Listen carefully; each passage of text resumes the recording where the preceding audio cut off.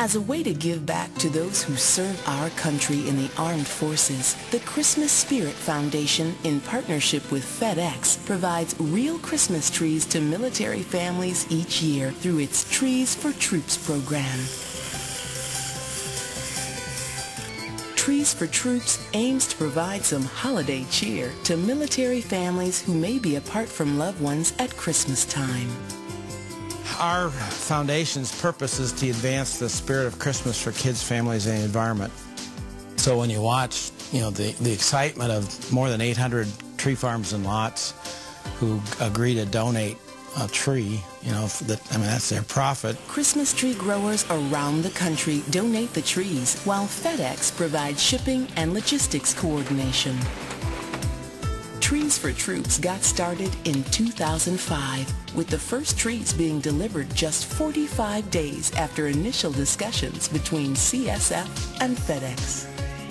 But this idea of doing a big national program, and we had one big problem. We didn't have any way to get the trees from the farms to the troops, and FedEx came along and made a great partner and just sort of unblocked it, so that's what made it happen. They donate all the shipping. Last year it was about 51,000 miles of truck time, so it's just, I've learned a lot about their, uh, their logistical expertise because uh, we're taking trees from like 800 different farms and delivering them to more than 40 bases here in the U.S. and then all over the world. In the program's first year, 4,300 trees were delivered to military families at five bases in the U.S. and overseas.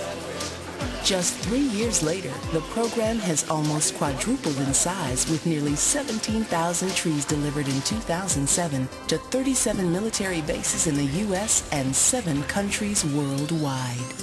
More than 850 Christmas tree farms donated trees in 2007. Many farms and lots offer the opportunity for customers to make a donation or buy an extra tree for a military family.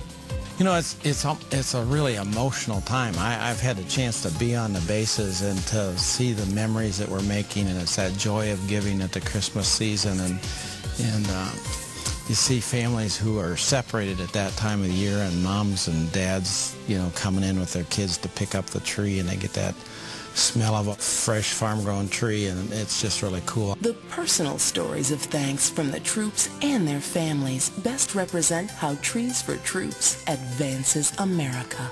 One Marine Corps sergeant this year wrote, I just wanted to say thank you for supplying trees to the Marines on Camp Pendleton.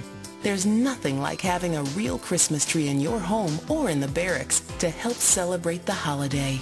I've missed several holidays and am lucky enough to be home this year to celebrate Christmas with my family. It's great to come home and see my beautiful wife sitting next to our tree. Thank you again. Thank you so much for making this possible. We had a dream for a foundation that would advance the spirit of Christmas, and, and this put life into that dream.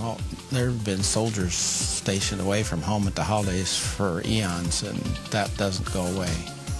And um, so our foundation sees it as a really neat way to bring it all together and create, as I said, that life about the spirit of Christmas for leading this important community assistance effort. ASAE and the Center are proud to honor the Christmas Spirit Foundation with a 2008 Summit Award.